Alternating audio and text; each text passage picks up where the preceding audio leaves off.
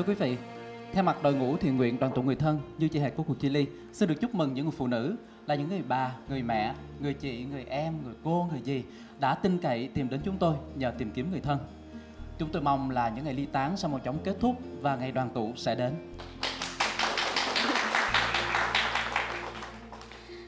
Thưa quý vị, những cuộc ly tán mà chúng tôi đã biết thì đều có bóng dáng của phụ nữ. Những người phụ nữ mà chúng tôi đã biết thì thường là những người chịu đựng, chịu những gánh nặng ly tán nặng nề nhất. Tuyệt đại đa số họ đều nhún nhường như cây như cỏ. Nhưng trong mưu sinh và bảo vệ, thương nhớ người thân thì họ đều kiên cường, mạnh mẽ đến không thể ngờ được. Những người phụ nữ ấy xứng đáng để được hưởng những cuộc đoàn tụ. Xin chúc cho điều ấy sẽ đến sớm, sớm nhất, sớm thành hiện thực.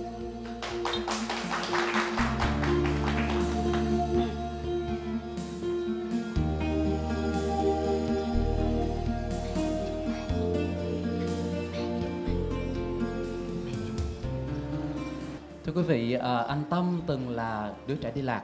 Anh lạc mẹ tới bây giờ luôn. Dạ. Dạ, hôm nay nhân ngày 8 tháng 3 thì anh có muốn nói gì với mẹ của mình không? Hôm nay ngày 8 tháng 3 con xin chúc mẹ được nhiều sức khỏe. Con sẽ tìm được linh mẹ để sẽ kể nhiều chuyện hơn.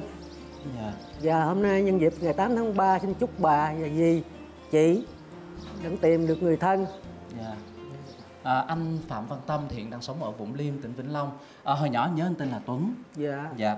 Rồi à, hồi năm năm sáu tuổi thì anh được mẹ à, đưa lên Sài Gòn, lên nhà ngoại chơi.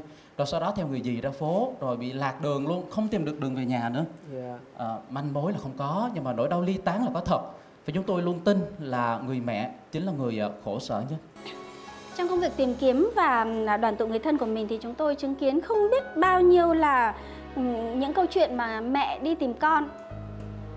Những người phụ nữ tìm con mất tích như thế nào ạ? Họ đeo biển mà có ảnh con, có tên con trước ngực, đeo sau lưng và đi khắp các hang cùng ngõ ngõ hẻm. Họ làm như thế khi mà không còn giọng nữa để mà gọi tên con nữa. Rồi họ khoanh vùng cả huyện, cả tỉnh, một vài tỉnh một Họ cứ khoanh vài làng một và quy định là cứ mỗi một ngày thì phải đi hết một cụm như vậy hay là vừa để kiếm sống, vừa để tìm con thì họ sung vào đội cửu vạn. Hay là sung vào để làm dịch vụ trong các bãi vàng. Có người mẹ là con lên thành phố thì trở về nhà. Mà không yên Cứ có được đồng nào thì lại ôm con nhỏ chạy lên xe đỏ lên thành phố đi lang thang cho đến lúc hết tiền lại quay trở về. Nhiều mẹ mất con thì trở thành điên dại vài năm mới có thể gượng lại được. Những người mẹ ấy thì không thể là tấm gương cho ai cả. Nhưng mà cuộc đời đã thử thách họ và họ đã vượt qua được. Dù có đau đớn thương tổn đến mấy thì điều đó thật thật là đáng ngưỡng mộ. Xin nói lời kính trọng đến những người phụ nữ như thế ạ.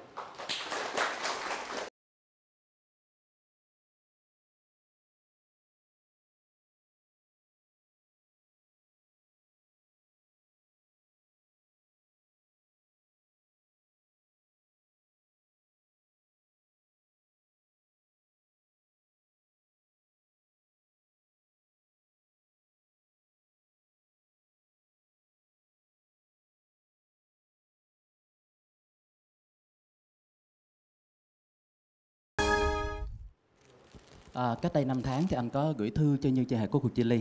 Dạ. Dạ, trong thư anh viết thế này. À, tôi năm nay đã 52 tuổi mà vẫn chưa tìm được mẹ và người nhà. À, tôi mong nhất là được gặp lại mẹ của tôi một lần, à, gặp ba và em gái. Đây, à, cái lá thư đây thưa quý vị. Chữ rất là đẹp ạ. Đây, lá thơ này cũng nói là cũng nhờ một đứa cháu viết. Dạ.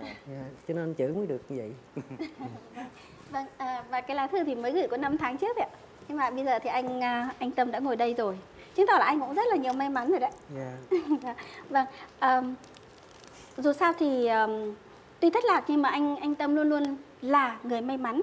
Bởi vì là ờ, chúng tôi đã gặp rất là nhiều người đã từng ờ, ờ, chăm sóc anh tâm đã từng gặp anh tâm lúc còn từ lúc thất lạc đến giờ thì tất cả mọi người đều nói là anh ấy đặc biệt là dễ thương rất là mũm mĩm rất là trắng trẻo. Bà ngoại nói tâm hồi đó đẹp trai lắm trắng tươi đẹp trai lắm mà ú ú thấy thương lắm nghe kể nha Nên đi lạc đó, gặp xưa thấy nhau, quá, không mới bắt nó. Chứ phải xấu trai chứ nó không đi có bắt. làm gì đó nó đi lạc ngoài à, như thành phố lạc á ông này chạy xích lô gì lụm bắt con tay gì nuôi á Người có công cứu mang anh Tâm nhiều nhất là bà Phạm Thị Hay, mẹ Việt Nam anh hùng, có chồng và con trai là liệt sĩ. Từ năm lớp 1 tới năm lớp 6 là Lớp ở năm. với cô. là ở, Ở tới lớp lớp năm. 5 lên lớp 6 nghỉ học Lớp lớp sáu 6 mới là ra anh Bảy nãy á Anh Tâm đã được bà Năm Hay nuôi ở nhà này cùng các con của mình cho đi học đến lớp 5. Tới lúc Tâm ngại là lớn mà còn đi học, xin ra nhà máy xay sát của anh Bảy vừa làm vừa học. Cái hồi nhỏ đó là con thấy cái cái cái cái cái cử chỉ với cái ờ, người nó thì mình nghĩ là nó là tàu chứ không phải là người Việt thường nó trắng tươi dữ ừ, nó trắng tươi vậy đó. Tươi. Bà Năm, anh Bảy đều là bà con của ông Phạm Văn Hai, người đạp xích lô trên Sài Gòn vào năm 1972, nhặt được cậu bé đi lạc, đem về đặt tên là Tâm. Ủa mày còn nhớ được à? dạ nhớ chứ. Vậy à? dạ.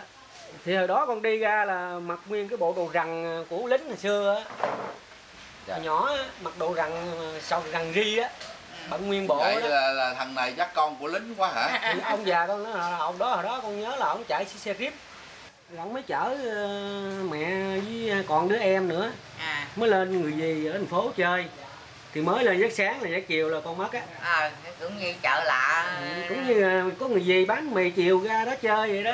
Cái đó nó nhớ rồi. Rồi mới kêu vô lấy cái muỗng để chan nước pate vậy đó. Ờ rồi đi vô nhà không đi mà đi quanh đây. À. Bắt đầu đi đi đờ rét luôn. Vậy là là, là nó cũng chắc cỡ nó cũng 4 tuổi rồi đó. dạ. 4 năm tuổi thì nó còn nhớ măng máng được là Ừ. không có chở vô báo cảnh sát có không? chở vô cái bót cái bót mới la thông tin lên. Ừ. coi có ai lạc. Vô hai thay đổi chắc lắm. gì ổng nhiệt tình ổng đưa lên. Ừ, mình cứ sợ là ông à, ổng chưa chắc ông nhiệt anh à, Ông lụm được là không có gia đình. Ừ, không. Thế là anh khoái hàng này rồi anh giấu luôn hả? bởi ông dẫn chỗ này ông dẫn chỗ kia không có ở đó hoài ông đi lung ra. Vâng, rất là nhiều thông tin. Thì bây giờ xin chốt lại những cái chi tiết ờ, trong cái việc là hoàn cảnh anh thất lạc như thế nào nhé. Khi đó thì anh chừng 5 6 tuổi đúng không ạ? dạ Thì mới nhớ được đúng không? Và cái thời điểm đó thì có thể là năm bao nhiêu? Năm 71 72, 72 năm 72. dạ Năm 72. Vâng, và địa điểm thì là thành thành phố Sài Gòn rồi. dạ con Dạ. À, lý lý do thất lạc là lên theo mẹ lên nhà dì và bà ngoại. Có đúng là dì và bà ngoại không ạ? dạ đúng biết nhiều gì vì lúc đó nhỏ quá mình cũng không có nhớ không Gọi là gì? Gì? Gọi là gì? Có bà ngoại trong nhà. Dạ. Dạ. vâng. À, rồi ngay tối đó ngay tối vừa mới lên xong ấy thì đi theo gì? Dạ. đi ra bán bánh mì. À, sau đó thì dì có nói là thôi chạy vào nhà lấy cho dì cái muỗng. Dạ. Thế thì anh đáng ra là phải rẽ bên này thì anh lại rẽ sang bên này. Dạ. Và thế là đi lạc luôn. Dạ đi lạc luôn. Đi mãi cũng không biết đường về. À, lúc đó là anh đi như thế nào? Dạ đi Đến thì bao giờ thì gặp? đi cũng xa. Dạ, gặp ông ờ, ông phạm nhân hai á ông mới thấy khóc vậy ông mới bỏ lên xích lô ông chở đi vô cái đồn cảnh sát. À, dạ. mà cái điểm mà anh Vâng. ờ, ông đưa về đồn cảnh sát đây là cầu chữ y đúng không ạ? Dạ, cầu rồi bắt đầu mới qua đó rồi bắt đầu không có ai thân nhân rồi ông mới trở về cầu chữ y. Dạ. Vậy là cũng xa đó. Dạ. Chứ không phải là ngay ở chỗ cầu chữ y đâu không thất lạc ở chỗ đó đâu. Vâng. Và ông đưa anh về? Quê của ông. Ờ, đưa về quê của ông mà ở Đưa. Trà Vinh sinh sống. Dạ đứng về trà vinh càng long Càng Long, Dạ. Càng Long Trà Vinh.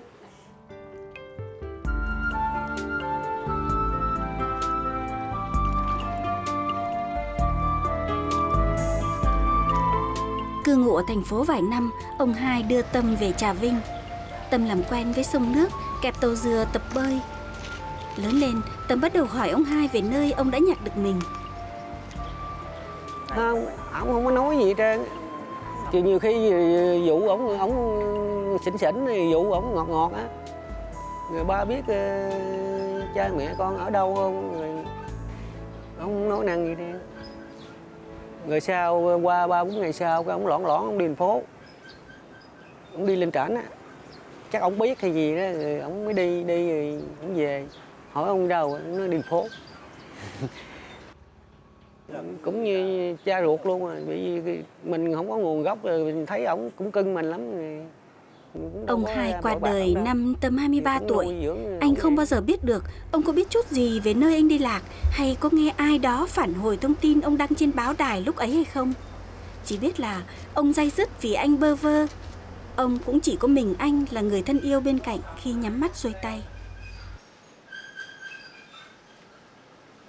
Cha nuôi mất thì anh Tâm mới rời Trà Vinh sang Vũng Liêm bên tỉnh Vĩnh Long làm nhà máy xay sát, học võ và chẳng mấy chốc đã đứng lớp làm thầy.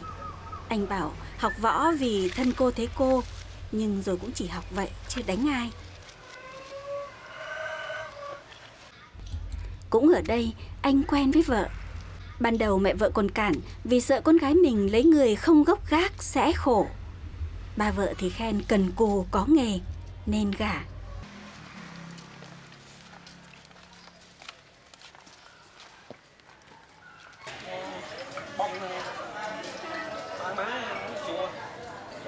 Sợ như khổ không cha không mẹ này kia nọ đó. Rồi không có nương tựa.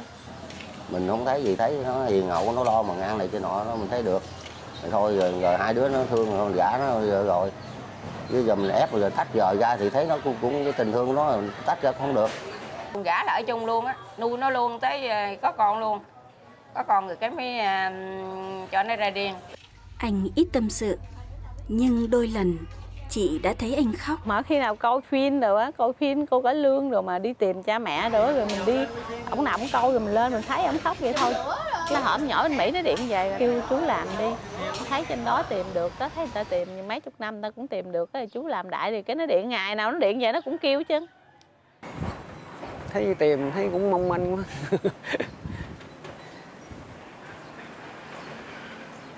với phần mình không có biết nguồn gốc bây giờ nó đang ở đâu này cũng như mình hy vọng mò kim đáy biển.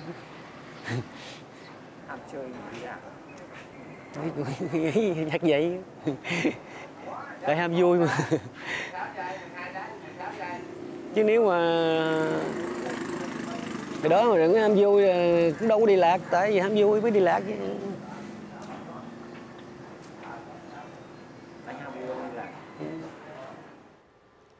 Dạ đúng là không có manh mối gì, không có hy vọng gì nhiều hết Giống như nói là mò kim đáy biển á Bởi vì không có manh mối gì rõ ràng hết Vào những năm 1970, 1972 ở Cảnh vợ một người lính Rồi à, dắt theo hai con nhỏ Từ một khu gia binh ở tỉnh nào đó lên Sài Gòn Rồi Cảnh một người à, cha là lính lái xe Jeep Năm bữa nửa tháng mới về với vợ con ở khu gia binh được vài ngày Thì là cái cảnh nó quá quen thuộc rồi Dạ.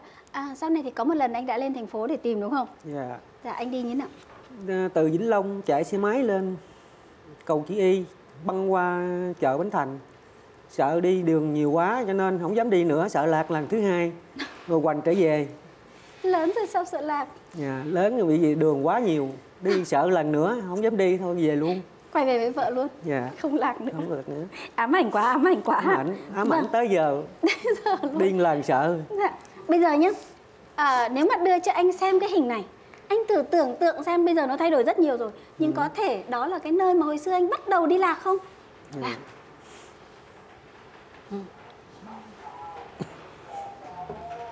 đây là ở gần chợ lớn ở quận 5 nếu như hồi xưa ấy mà là cái quầy bán bánh mì nó nằm ở ngã ba này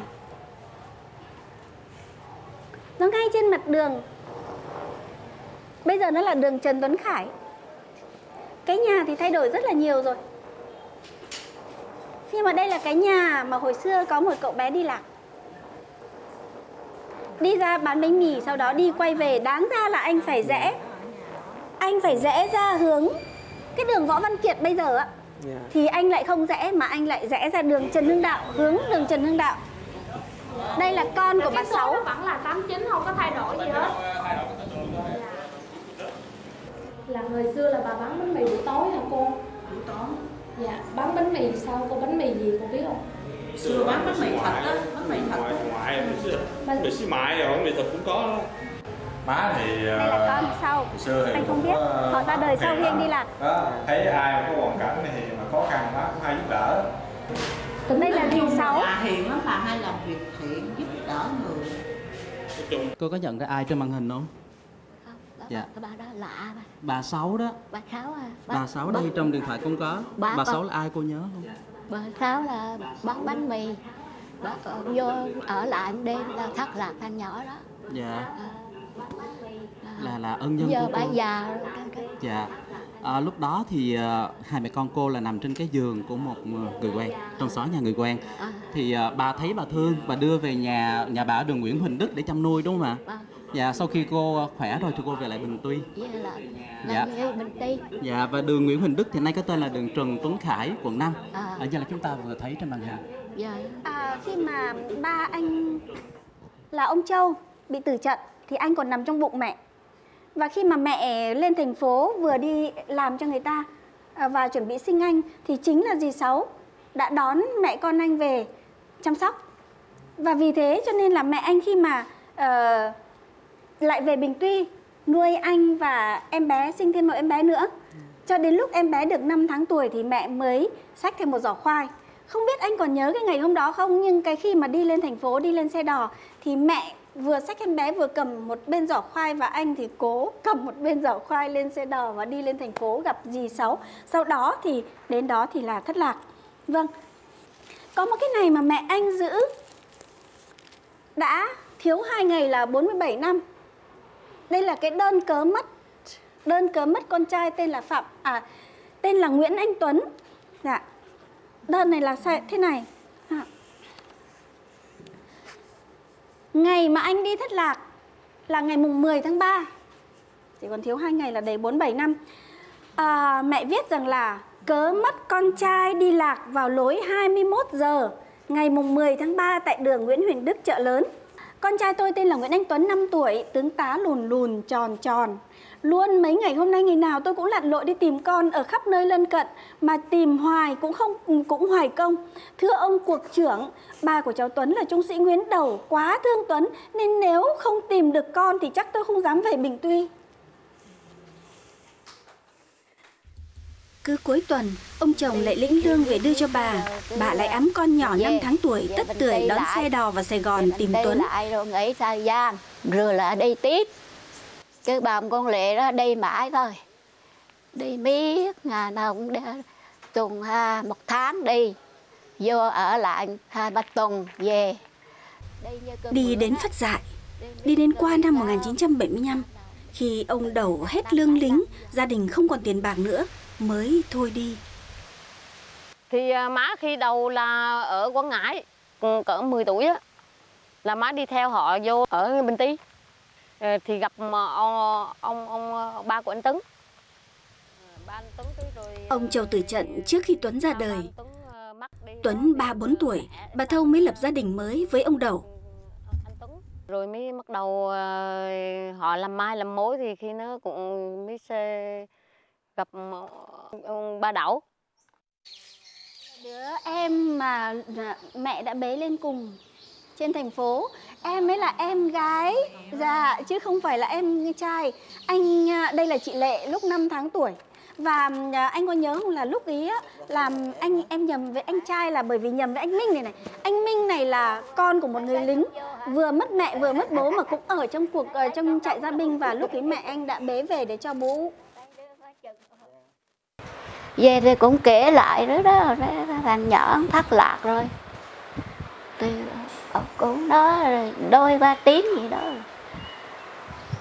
Rồi thôi. Thế là đi lâu lâu ông về thì ông cứ nói là ờ, bà đêm bà đi bán rồi. Chứ mất đâu mà mất. Rồi cũng nó qua nó về đó đó. Thời gian rồi ông cũng buồn rồi uống rượu uống trà. Đi. Rồi vợ chồng có hồi cũng xích mít nhau. Chứ hồi lái ổng bây giờ đâu có tiếng tâm gì đâu. Và, và thằng nhỏ mất thì cũng có tiếng. Có tiếng vô tiếng ra. Rồi đến hồi đó bà loạn rồi mất. Không biết chi nữa thì ổng mới hết đó chắc anh Tuấn không biết ông Đầu là ba dượng. Ổng hồi đó tuổi lớn rồi. Ai cũng đe ông tu để ông tu chứ lấy chi đó ông đó ông, ông bà đó bà làm mai. Ôi như là mai vậy? Có dẫn thằng con đi theo không? có chứ đi đâu mẹ đâu con đó chứ. Con đẹp trai ông khoái quá. Ông đây có con trai ông mừng đó. Ông còn đó chứ. Bắt rồi rồi thột nhà lũng khoái rồi ông đấy có nó tôi mới ưng bà rồi. Không có nó tôi không có ưng bà đâu. Ông chờ cậu đi. Ờ, ông thương lắm. Mặt nhân không ờ, Lấy nhau về, ông Đầu đặt lại tên con trai theo họ của mình quýnh quýt là Nguyễn Anh. Tuấn. hồi đi đó là ông mua cho nó bộ đồ lính giả dù. Giả giả dù á. À, dạ. Ông mua cho nó bộ đó bận đi Một ngày trước khi lên thành phố, ông mua cho bộ dần di. Ba Phạm Văn Hai nhận được anh nhặt anh ấy là anh mặc bộ dần di đúng không? dạ đúng Mọi người đều nhớ lại chi tiết đó, chính là cái bộ mà bà Đầu đã mua cho anh đó. À, ngay trước khi đi đó. thì Và nhớ là cái hồi đó mặc nguyên bộ vậy đó dạ. và à, anh nhớ là ba Đầu thương anh lắm, thương hơn cả những đứa con sau này của ông nữa cơ. Đến mức sau ngày hòa bình ra khỏi khu gia binh, gia đình không còn nhà cửa nên đăng ký đi kinh tế mới. Về Hòa Hội, này thuộc xuyên mộc Bà Rịa Vũng Tàu, ông bà làm công nhân nông trường cao su. Rồi bà sinh thêm ba con gái dưới chị Lệ. là tội biết ờ, ba ổng làm được bao nhiêu tiền lính thì má bà đem lấy đi đi đi tìm hết hết rồi rồi bắt đầu về kinh tế mới cái là không tìm nữa khi các chị lớn lập gia đình hỏi ông Đầu vì sao ông chưa bao giờ nói về quê nội. Ông bảo không có con trai, không muốn về. Từ năm 15 tuổi bỏ quê đi lính vào Bình Tuy, không biết ở quê còn ai không. Rồi chị Lệ cũng tự tìm, may mắn còn gặp được ông chú. Chị cũng đã đưa ba về thăm quê hai lần trước khi ông mất. Còn chuyện lạc người anh trai Nguyễn Anh Tuấn ở Sài Gòn vào năm 1973 thì chị không biết cách nào để tìm hiếu hít với nhau. Mấy năm nay, bà Thâu bị liệt phải bò bằng hai tay. Nhưng khi nghe như chia sẻ của cô Chi Ly ghé nhà, dù nôn nao không ngủ được, bà bỗng khỏe Bố lại. về là cầu xin. Cho con tìm nó được. Nó còn sống hay chết. Chết cũng cho con thấy. Sống cũng cho con biết. Thương lắm. Rồi có cái đêm đó sao về, về xui xẻo và xảy ra đấy chứ. Rồi bà ăn hận suốt đời. Phần thì con lệ nó nhỏ nữa. Bây giờ đi tìm hắn thì bợn lệ đi tới đi lui. Năm đó là chết biết bao nhiêu người. Nhưng bà nói, chuyện tìm lại được con Tuấn đi lạc lúc lên năm giữa phố phường Sài Gòn, chẵn 47 năm về trước thì chỉ có thể là phép lạ mà thôi.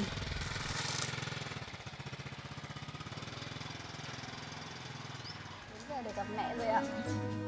Mẹ.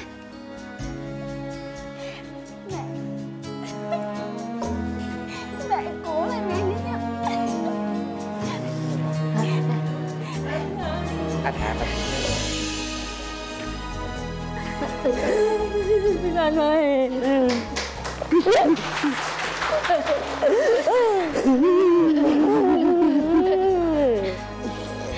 Nào cho anh ra với mẹ đã chứ. Cho anh ra với mẹ đã chứ. Cho anh ra với mẹ Con đi đâu mà mọi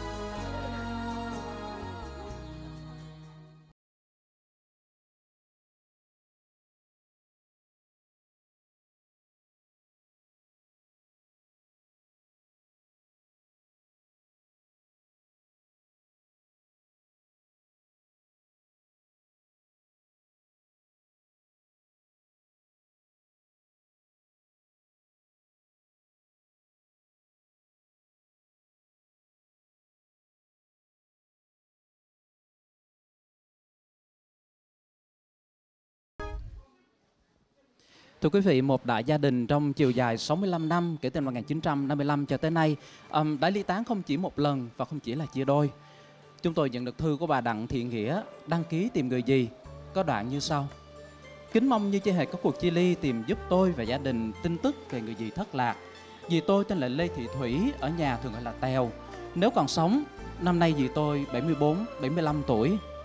Năm 1955, gia đình ông bà ngoại tôi sống tại Đông Quang, Thái Bình. Bác tôi, Lê Thị Ấm, lấy chồng là Vi Văn Phan, bế con trai Vi Thanh Bình di cư vào Nam. Bà ngoại tôi có cha dì Thủy, còn lại là Tèo, đi theo. Lúc đó dì khoảng 11, 12 tuổi. Sau này dì lấy chồng người gốc Hoa và theo chồng về quê sinh sống. Thế là biệt tinh cho đến bây giờ. Đáng chú ý là người đăng ký thì sinh ra và lớn lên tại Thái Bình, sau này cũng vào Nam sinh sống. À, người gì cần tìm thì chị cũng chưa từng gặp mà. Dạ. À, trong thư của chị Đặng Thị Nghĩa thì chị có nói đến là gia đình của người bác tức là bác Lê Thị Ấm tức là Tranh. À, người bác đã dẫn dì Thủy à, di cư vào năm 1955. Chị có nhắc đến một người con trai của bác Ấm tức là anh Vi Văn Bình, à, Vi Thanh Bình. Khi di cư vào Nam thì anh Bình mới gần 3 tuổi. Ờ, cái năm mà tôi sanh à, thì tôi sanh ở Thái Bình thế thì đến năm 54 thì bố mẹ tôi vào Nam á, thì có cho dì Tèo là cái gì đó hồi đó cũng đã lớn chừng khoảng ờ, 90 tuổi gì thì đi theo tại vì mẹ tôi bị bệnh mà. Mẹ tôi sanh tôi ra mẹ tôi bị băng huyết. Thế thì nó là dì vào là dì trông coi thôi là tôi lớn nhất rồi đến ờ, chú em tôi. Có dì, dì quý chúng tôi lắm. Tôi nghiệp gì như cái, muốn ăn vụng á gì nhón đó. gì dì bực mình quá gì nhón ngay cái răng sôi vào miệng tôi. Mẹ tôi la gì quá trời tội nghiệp. Thế là thời gian gì lớn thì gì quen với chú Tòng ấy. Thì chú Tòng bảo ở Bạc Liêu người Hoa nên bố mẹ tôi cũng không vừa bụng khoảng chừng năm 1973 thì tôi lại thấy dì về có một mình. Lúc đó thì tôi đã lớn, khoảng chừng 20 tuổi có. Thế thì tôi nhìn thấy dì bế một đứa em gái ở bên nách này này. Thế hỏi, thì cũng chỉ hỏi thôi, hỏi em mình tên gì, thì bảo là tên là Quách Thị Thùy Dương.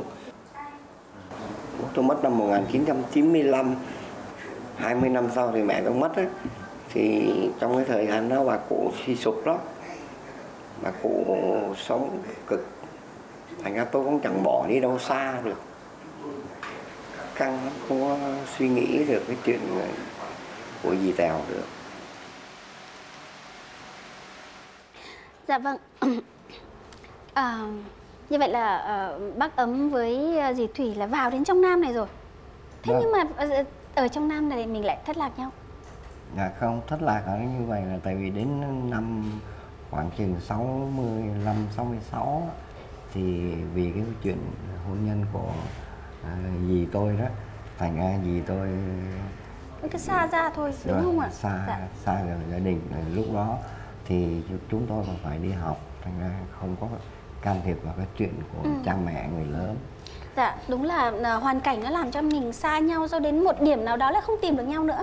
Vâng. À, như ờ, giữa hai miền, à, miền Bắc và miền Nam của Vâng. gia đình mình thì đã tìm thấy nhau như thế nào?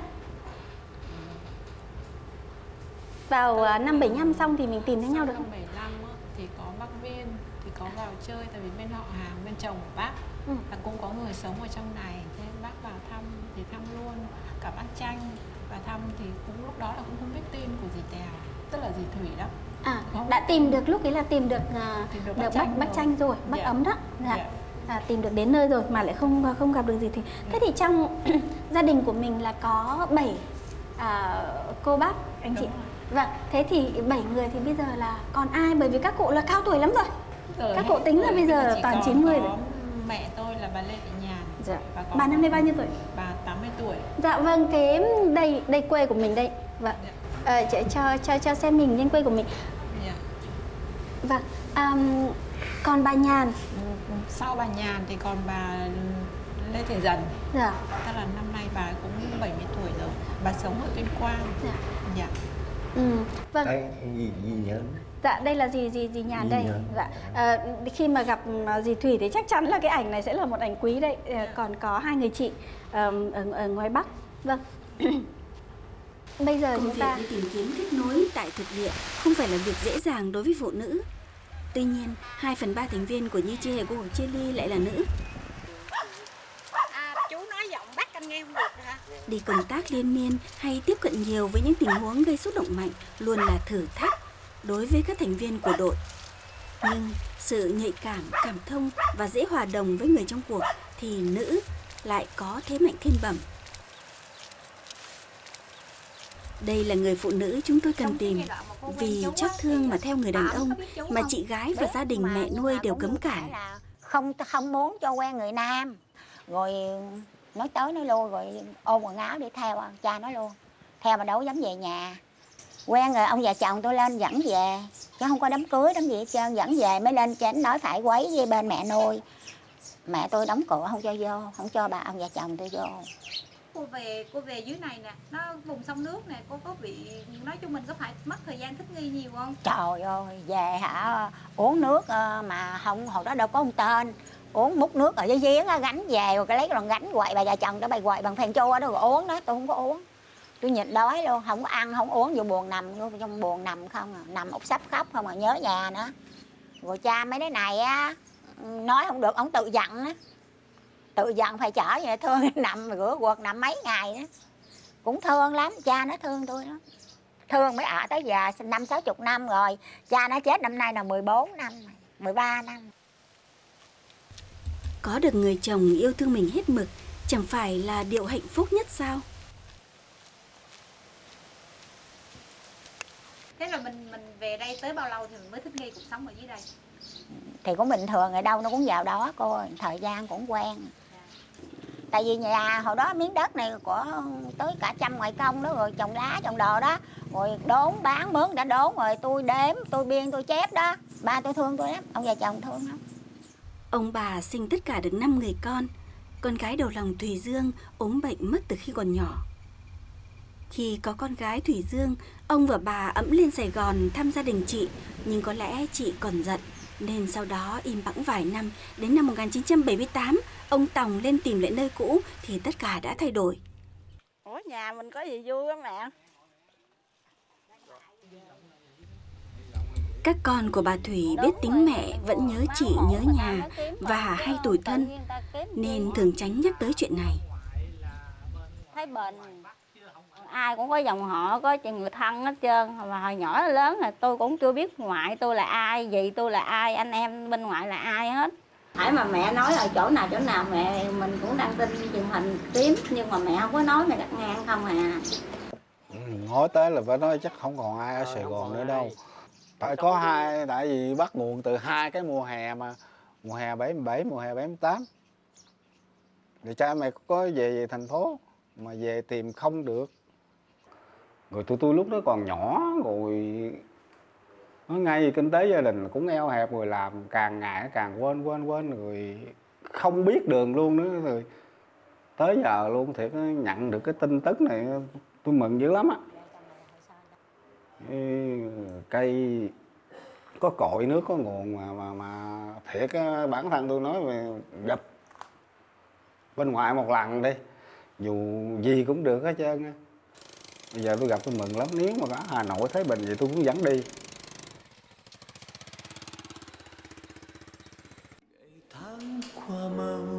Dạ cũng không cần phải nói rằng là dì đã nhớ các anh như thế nào. Bởi vì là người con đầu tiên, con trai của dì Đây là anh ấy tên là Quách Thanh Bình. Lấy tên của anh Bình để đặt cho anh ấy ạ. Dì, hôm nay dì dì hơi bị mệt. Anh anh kể xem mẹ Dạ, sao? Hôm nay giờ giờ gì đâu em em là em là của Tùy Dương này Duyên nào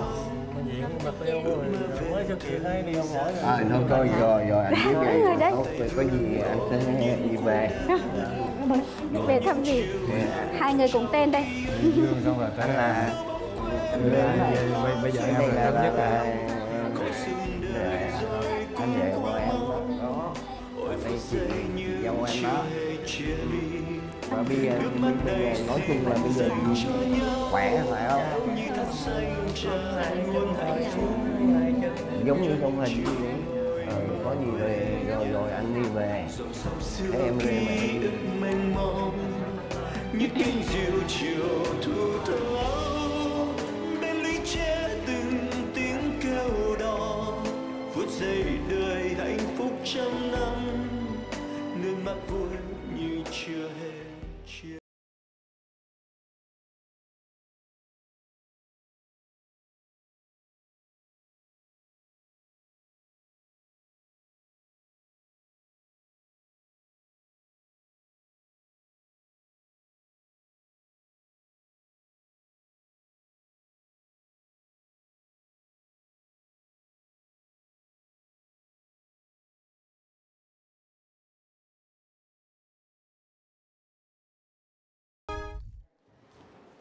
Thưa quý vị, trong tuần này đã diễn ra một cái cuộc đoàn tụ mà bất ngờ đối với chúng tôi và đặc biệt bất ngờ đối với hai bên ở trong cuộc ạ. À, phải nói là một cuộc đoàn tụ rất là hy hữu. Chúng tôi đã trải qua mọi cung bậc cảm xúc chỉ trong vòng có vài tiếng đồng hồ thôi. Còn đối với những người đến từ Burkina Faso, châu Phi thì à, sang Việt Nam từ tuyệt vọng mà cho đến cuộc đoàn viên chỉ diễn ra trong vòng có 24 tiếng đồng hồ. Vâng, à, một buổi sớm thì như trẻ của Chili nhận được một cuộc điện thoại từ một chị chủ khách sạn ở Hà Nội nói là có một người Pháp đọc được thông tin trên website của Như Trẻ của Chili nhận ra là cha mình nguyên là một lính Lê Dương Pháp đang được người con trai thứ đi tìm. Điều kỳ diệu là người con trai trưởng đã hai lần sang Việt Nam dẫn các con sang Việt Nam để tìm mẹ và em nhưng mà không biết cách nào. Câu chuyện gia đình của họ là ông bố người châu Phi Burkina Faso đi lính sang Việt Nam thì lấy người vợ ở Lạng Thương. Sau đó đến năm 55 sau trận Điện Biên Phủ quân Pháp phải rút về nước thì ông dẫn con lớn xuống tàu, còn bà thì ôm con nhỏ vào Nam sống trong một cộng đồng uh, người Lai Pháp bị lãng quên cho đến tận bây giờ. À, sau nhiều chi tiết mà chúng tôi xác xác nhận xác minh ấy thì uh, có rất nhiều chi tiết bất ngờ và hai bên đã được gặp nhau. Hai bên đã được gặp nhau. À, người mất người còn. Nhưng mà trong suốt hàng chục năm đó thì hai bên đã tìm đến cả con đường ngoại giao để có chút tin tức về nhau mà không đạt kết quả À, cuộc đoàn tụ này thì quả thật là hy hữu. À, cuối cùng sau 65 năm thì họ cũng đã tìm được nhau thông qua một thông báo tìm kiếm trên website của Như Chia Hải Cuộc Chia Ly là hãy lên tiếng.vn. À, chúng tôi sẽ cập nhật những câu chuyện à, chia ly và đoàn tụ như vậy thành những phóng sự và đăng trên kênh YouTube là Như Chia Hệ có cuộc chia ly official. À, để được à, thông báo lập tức qua email và qua trình duyệt internet mỗi khi chúng tôi kể thêm những câu chuyện về tình người về tình gia đình nguồn cội về văn hóa và lịch sử dân tộc về những cuộc tìm nhau đằng đẳng và những cuộc đoàn tụ bất ngờ thì à, xin quý vị hãy nhấn nút đăng ký trên kênh youtube như chơi hệ có cuộc chili official. À, đồng thời là đừng có quên nhấn hình quả chuông và chọn nhận thông báo cho toàn bộ video mới. Dạ vâng kênh youtube như chơi hệ có cuộc chili official.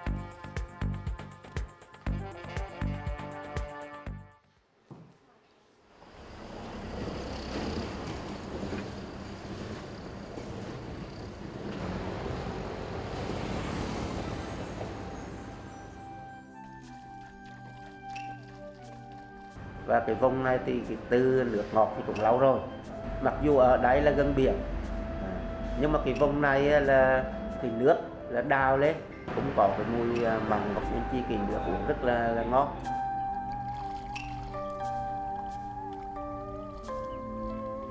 Trước đây thì cái vùng à, cổ lục thủy là cái vùng căn cứ cách mạng. Trong đó có gia đình bà thục.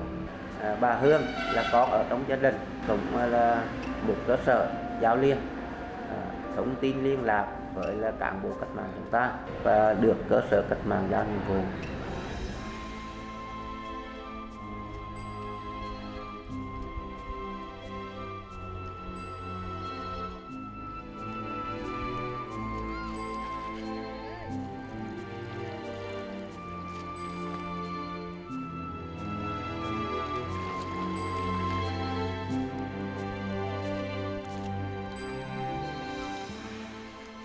Dạ, bà Nguyễn Thị Lệ Hương là người đăng ký tìm gia đình với Như Chị Hề có cuộc chia ly.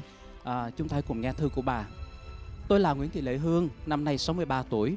Tôi thất lạc gia đình đã 58 năm mà chưa thể nào tìm được cha mẹ, anh chị em. Cha tôi là Bùi Văn Tư, làm việc tại Bệnh viện Quân đội Việt Nam Cộng Hòa ở Tuy Hòa, Phú Yên, bị xe quân đội đụng chết. Mẹ tôi nghèo, đông con, nên đem tôi cho bà Trần Thị Thanh Liên là cán sự cùng đơn vị của ba tôi nuôi. Vì chiến tranh, tôi thất lạc từ đó. Tôi nhớ trước lúc mẹ cho đi làm con nuôi, tôi tên là Bùi Thị Thuận, thường gọi là Trúc. Tôi có các anh em là Bùi Văn Thành, Bùi Văn Phú, Bùi Văn Yên, Bùi Thị Cái, An và Ninh. Tôi cầu xin chương trình tìm lại gia đình, cha mẹ anh chị em giúp cho tôi với.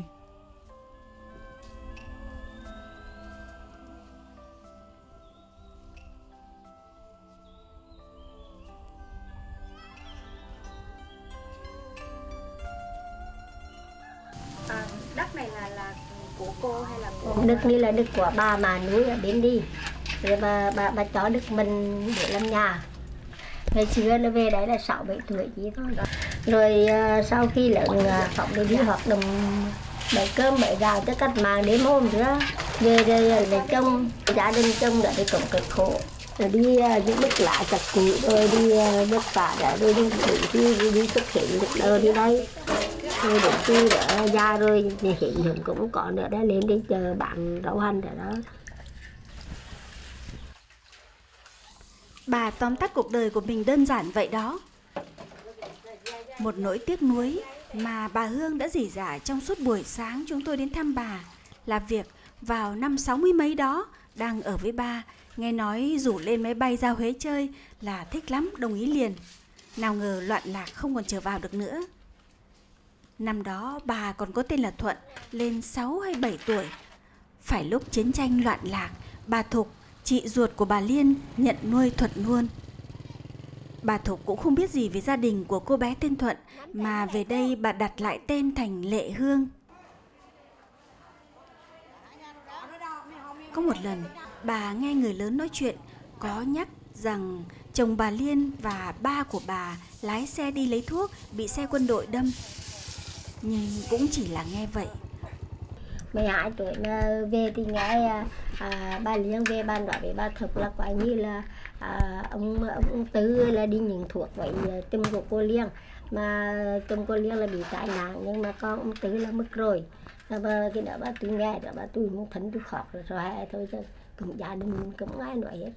Bà Thực cũng, cũng nói tôi là ba mới mất rồi bà Liên cũng nói với ba mất đó, bà, bà, bà, thôi cho đến chứ luôn đó thì thật là khổ cái khổ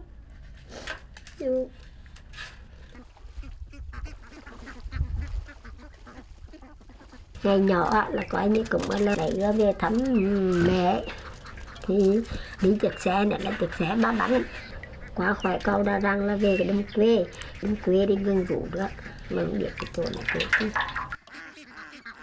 Điều xót xa nhất trong lòng bà Hương là phải chi ba bà không mất vì tai nạn. Bà biết bà ở đâu, bà nhất định sẽ đón bà về chứ không thể để bà bơ vơ mãi. 47 năm về Huế, bước chân xa nhất là ra đến Quảng Trị thăm con. Con trai bà có lần về đến cầu Đà Răng tìm, nhưng cũng không biết hỏi ai cho ra. Vâng. Ừ. Ừ. À, trong cái thông tin đăng ký thì có một cái chi tiết mà em không hiểu lắm. Tức là à, khi mà, mà mẹ cho chị đi để bế em cho người ta xong rồi đó thì à, thì sau đó thì ba chị đi rồi. Chị ra Huế rồi thì ba mất đúng không? Dạ. Vậy à, cái lúc đó là chị theo ai mà lại về Huế? theo bà Thực Bà Thục. À, tức là ở à, chị à, bế con cho bác sĩ Liên. Bác sĩ Liên. À, bác sĩ Liên có một người cháu tên là ông à, Nguyễn Phước Trọng. Ông Nguyễn Phước Trọng và Nguyễn Phước Trọng lại là con của bà Thục, tức là chị ruột của bà Liên. Bà Thục thì đang ở Huế. À, sau đó thì à, anh Nguyễn Phước Trọng có nói với cả à, lúc ấy chị Hương thì à, chị chị còn còn tên là Thuận chứ, lúc ấy còn tên là Thuận. À, nói rằng là hãy ra Huế đi được đi máy bay đấy. Thế là chị vui quá đi ra Huế.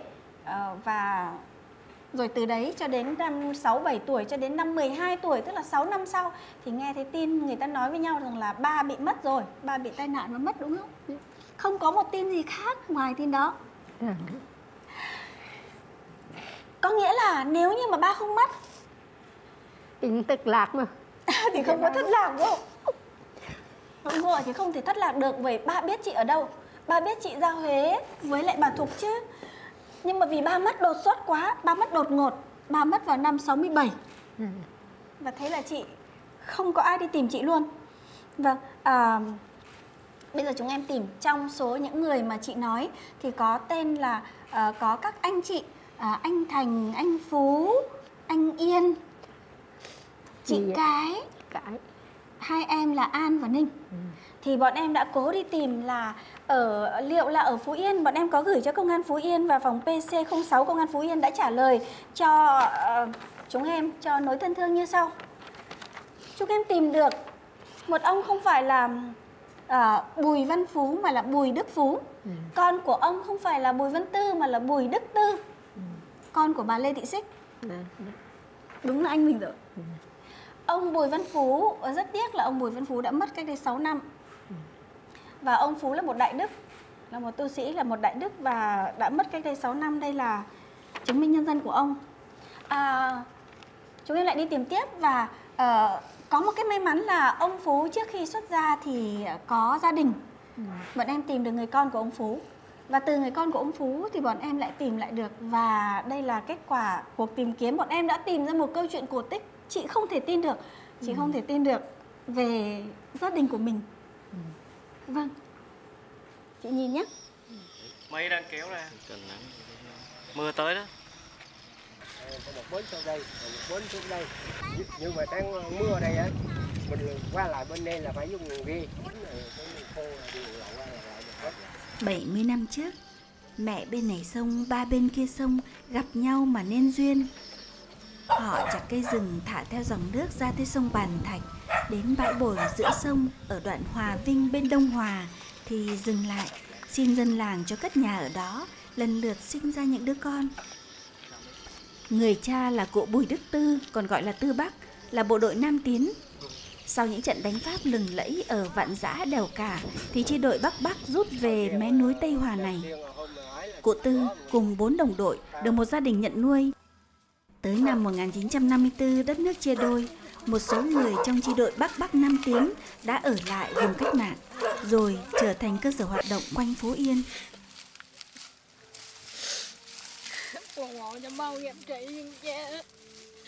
Những người con lớn lên hầu như không ai biết gì về tiểu sử ấy của cha.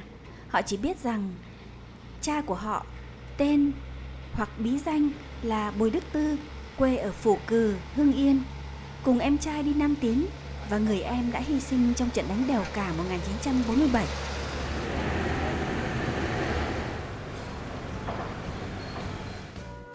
Vâng, chị không thể biết được đúng không ạ?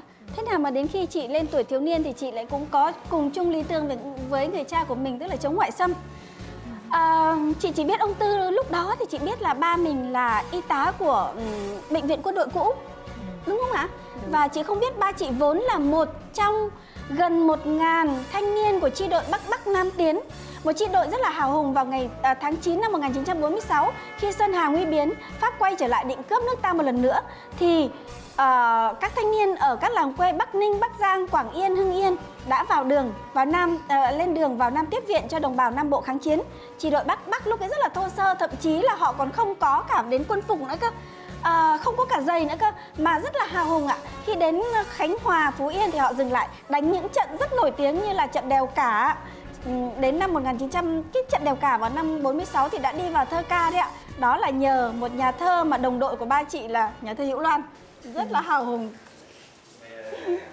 Những người chiến sĩ của chi đội Bắc Bắc ngày xưa ở lại Tây Hòa, Phú Yên giờ đều đã khuất núi. Mà cụ Bùi Đức Tư là ra đi sớm hơn cả từ năm 1967 trong một tai nạn do xe lính gây ra. Các con cố gắng làm hồ sơ công nhận sự đóng góp của cụ Tư nhưng không còn đồng đội nào sống để làm chứng.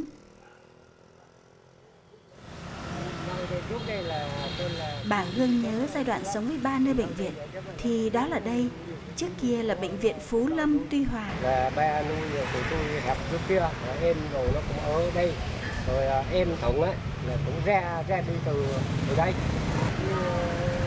là trong ông già mất là cũng đem giờ tại đây rồi muốn chôn Giai đoạn này, những người con thấy ba đi xe Vespa đi đêm đi hôm mấy lần bị cảnh sát bắt thẩm vấn. Nhiều lần có người đến nhà lấy thuốc men bí mật mang đi. cho em nó cũng từ từ đây ba người con trai lớn của cụ Tư lần lượt đến tuổi bị bắt quân dịch. Ông Thành phải lấy căn cước của em Bùi Văn Yên để trốn lính, vẫn không thoát, đã tử trận vào năm 1972. Ông Phú cũng đi lính một thời gian nhưng may mắn trở về. Sau khi mẹ mất vào năm 2003 thì xuất ra. Còn ông Tân mà bà Yên nhớ tên cũ là Yên, thậm chí phải tự thương một ngón tay nhưng vẫn bị bắt lính. Năm 1975 hòa bình về, ông Tân cùng các em tần tảo làm ăn bên mẹ. Riêng em Thuận thì khi đó mẹ cho lên ở với ba, trông em cho nhà người ta. Cụ Tư mất, mang theo mọi manh mối để tìm Thuận. Cụ Xích còn cho rằng chồng không nuôi được thì đã cho con đi. Mãi sau này mới gặp lại được bác sĩ Liên. Bà nói người nhận nuôi em đã vào Sài Gòn. Ông Tân đã đi tìm theo địa chỉ có được nhưng không gặp một ai. Họ thấy là đúng ra gia đình cũng thân như vợ chồng của bác con bác Liên. Còn xong rồi nghe nói bác Tư có hai đứa con thì hai đứa con gái tao đưa tôi đưa tôi nuôi làm con đỡ đeo. Vậy rồi cái nó nói giờ hai đứa đưa đứa nào? Thì cái nó, nó cầm tay bác liên nó con con đi bác liên con đi bác liên. À, nhớ là nghĩ hình học cho là nó vậy. Má nói chừng sau này mà nếu chị mà có còn sống tìm về thì chị em hiến ba với nhau chứ đừng có ba chị tạo. Má cũng nói vậy á. Khi gặp em bất cứ dù trong hoàn cảnh gì sung sướng hay khổ cực như thế nào là phải đùm bọc giúp đỡ với nhau. À, cô bè với nhau thì không thể nào mà cô yêu tách rời được. Đó. giờ mình đoàn tụ thế ạ các anh chị đâu rồi?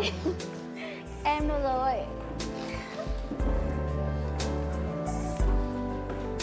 anh yên.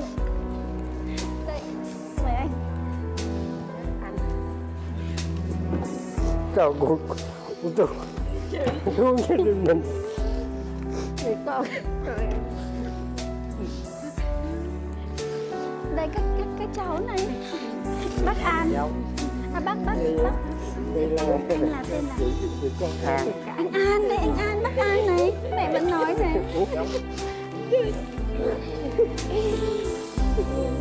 chịu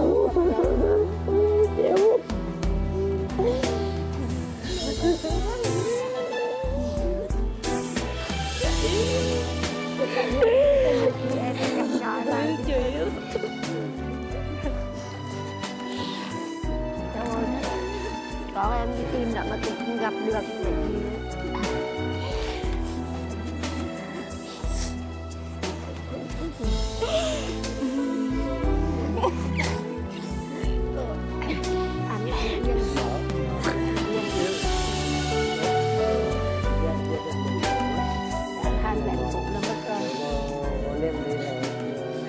Là bao nhiêu năm em em từ sống từ năm 62 từ năm 62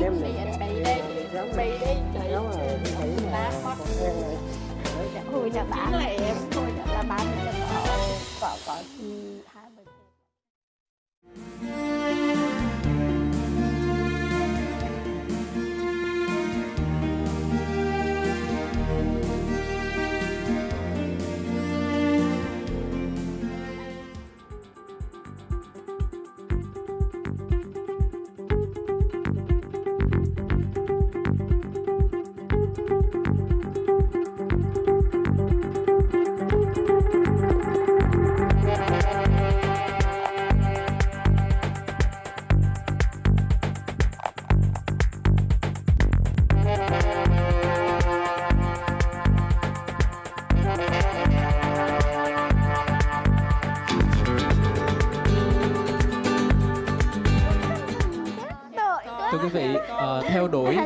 hàng ngàn cuộc cùng lúc, mỗi tháng tiếp nhận và xác minh hơn 1.000 đăng ký mới, mỗi tháng tìm ra gần chục trường hợp thất lạc đủ yếu tố để diễn ra đoàn tụ. À, rồi mỗi tháng tổ chức 5 đến 6 cuộc đoàn tụ mẹ con, bà cháu, anh chị em tìm về dòng tộc cội nguồn. À, như cha hạt của cụ Chile tự hào về công sức bỏ ra trong hoạt động nhân đạo tìm kiếm và đoàn tụ người thân. À, như vậy là hiệu quả hơn mong đợi. Dạ vâng, à, chúng tôi luôn luôn nôn nóng ạ. Nãy mà tôi nhìn thấy cảnh mà ừ, anh Tuấn anh ấy cõng mẹ đi lên sân khấu thì đúng là tan chảy luôn. Vâng à, chúng tôi luôn luôn mong rằng là chúng tôi có thêm người nữa ở trong đội ờ, tìm kiếm trong đội xử lý thông tin và trong các cái ờ, hoạt động về quay video. Thì số lượng những cuộc đoàn tụ chắc chắn là nó sẽ tăng lên theo cấp số nhân. Bởi vì chúng tôi đã vốn có quy trình rồi chúng tôi có kỹ năng rồi. Chúng tôi có tất cả những cái chuyên môn như là tra cứu như là uh, phán đoán như là tìm kiếm như là uh, à, và có những cái sự hỗ trợ như là uh, giám định về huyết thống cùng với rất nhiều tình nguyện viên khắp nơi. Vâng chương trình truyền hình này chỉ là cái phần nổi của cái tảng băng ở trong đại dương thôi. Nó cái phần nổi đó nó là chương trình truyền hình còn phần dưới. Nó mới là tìm kiếm kết nối. Và chúng tôi rất mong rằng là các doanh nghiệp sẽ hỗ trợ chúng tôi để tham gia vào cái um, việc uh, uh, cái trách nhiệm nhiệm đối với cộng đồng này. Dạ và thưa quý vị trong tháng vừa qua thì chúng tôi vô cùng cảm động khi mà có hàng trăm khán giả đã đóng góp giúp cho như chơi hãy có cuộc chia ly một chút kinh phí để mà duy trì hoạt động. À, trách nhiệm càng lớn thì chúng tôi tất nhiên là phải làm việc hiệu quả hơn. À, xin chân chân thành cảm ơn ạ. Vâng và cũng mong là quý vị sẽ giới thiệu với nhiều người hơn nữa cái địa chỉ trên uh, internet tức là địa chỉ YouTube như chị hề của của Chili official của chương trình để cho chúng tôi uh, cảm thấy là cái hoạt động của mình được nhiều sự ủng hộ hơn nữa, nhiều người uh, gọi là theo dõi hơn nữa. Dạ, tới giờ thì giới thiệu những người nào mà chưa vào được cái kênh như hề Dạ. của Chili official. Và đăng ký thì quý vị ạ hãy uh, nhấn luôn qua chuông để nhận thông báo. Đó rất là tiện để quý vị không bỏ lỡ những câu chuyện uh, mà cũng giúp cho đội ngũ như chơi hãy của Chili là có nhiều người theo dõi hơn nữa. À, cho thấy uh, việc truyền thông những câu chuyện nhân ái được làm tốt. Và thưa quý vị, chương trình Dư gia hệ của cuộc Chili số 133 Tảo Tần. Từ ngày mai là quý vị đã có thể xem lại trên YouTube Dư gia hệ của Chili Official rồi à, Xin hẹn gặp lại quý vị trong số mới 134 vào ngày 5 tháng 4 năm 2020 Cảm ơn.